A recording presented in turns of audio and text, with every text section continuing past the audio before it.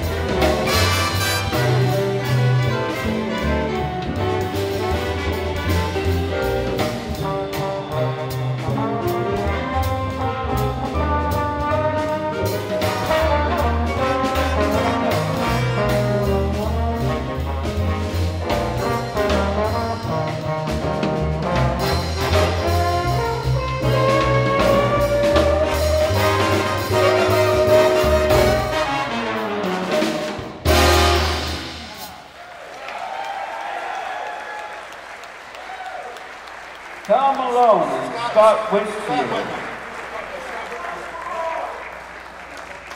How about that sax section? That stuff wasn't easy.